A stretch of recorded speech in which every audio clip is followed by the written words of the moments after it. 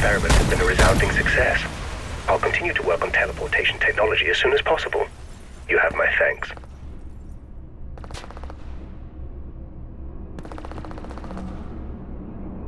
Thank you for your service, Wega 5. Your fate does not concern me.